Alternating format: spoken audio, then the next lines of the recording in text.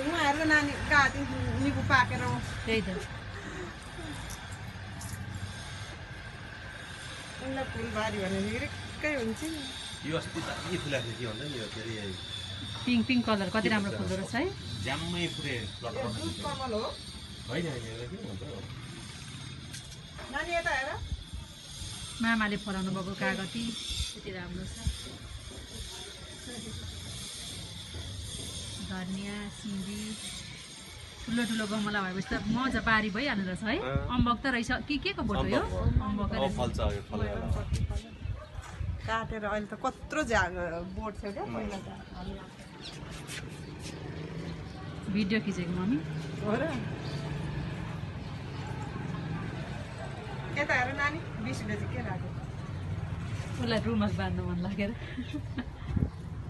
बाबाको मामा घर कति राम्रो रहेछ नि नानी? वा कस्तो राम्रो फ्लावर कति राम्रो गार्डन रहेछ नि। यो कति राम्रो गार्डन रहेछ। तिम्रो बाबाको नि? कस्तो ब्युटिफुल गार्डन बनाउनु भएको रहेछ बुढाले हजुर।